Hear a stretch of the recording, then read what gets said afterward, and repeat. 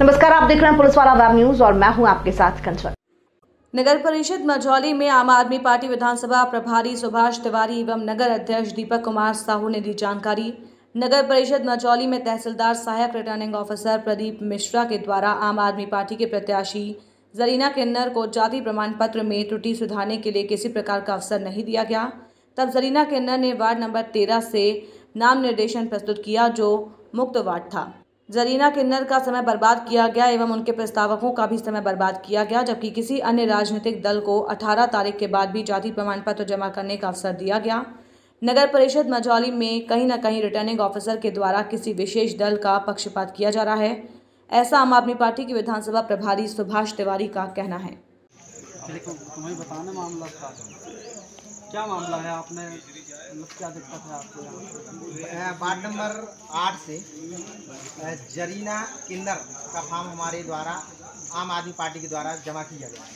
Form नहीं जमा किया हम बताने के डॉक्यूमेंट दिखाए गए थे। तो उनके द्वारा ये कहा गया था कि फॉर्म के साथ में आपको समस्त दस्तावेज़ जमा करना पड़ेगा। हम आपको शपथ पत्र यदि हम आप दे रहे हैं शपथ पत्र के साथ में आपका फॉर्म हम नहीं लेंगे। यदि हम मतलब समय था कि 22 तारीख तक जमा करने हम लोगों ने कहा था कि 22 तारीख तक हम लोग जरीना का मतलब करेक्शन करा के हाँ हम लोग जमा करा देंगे करा देंगे। ठीक है? जनीना किन्नर जी का वार्ड नंबर आठ से नाम प्रस्तावित किया था पार्टी ने। उनके पास जाति प्रमाण पत्र था अन्य पिछड़ा वर्ग का। उनका फॉर्म जमा करने के पहले रिटर्निंग ऑफिसर जी के पास। उनका जाति प्रमाण पत्र भी लेके आए थे। और उनके सारे दस्तावेज़ लेके आए थे। ये कर सकती है कि नहीं कर सकती? क्योंकि उसमें त्रुटि ये हुई थी कि वो ट्रांसजेंडर हैं। उनका इस समाज में शामिल होने के पहले नाम पड़ा हुआ था। शिवदयाल। शिवदयाल नाम पड़ा हुआ था। और जब वो इस, इस सोसाइटी में आई तो उनका नाम हो गया किन्नर। तो हमने उनको जाति प्रमाण पत्र भी दिखाया था उनका और संबंधित दस्तावेज़ किन्नर से संबंधित भी दिखाए थे। हमने माननीय महोदय जी से समय मांगा था कि हमको समय दिया जाए हम एक शपथ पत्र आपको प्रस्तुत करके दे सकते हैं। था हमारे पास समय दो दिन का समय था कि भैया संबंधित दोनों नाम संबंधित व्यक्ति के ही हैं।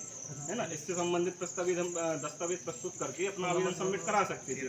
फिर उसके बाद दो या तीन दिन के अंदर, चार दिन के अंदर अंदर एक निर्धारित समय सीमा के अंदर जरीना किन्नर के ही नाम से हम अपना जाति प्रमाण पत्र पेश कर देते जाति प्रमाण पत्र में कोई समस्या नहीं थी, क्योंकि जाति प्रमाण पत्र पहले से बना हुआ था।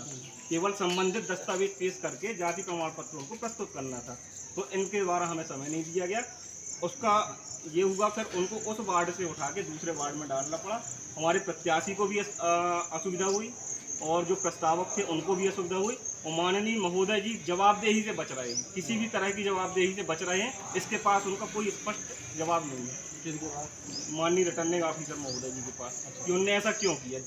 उनने ऐसा क्यों किया?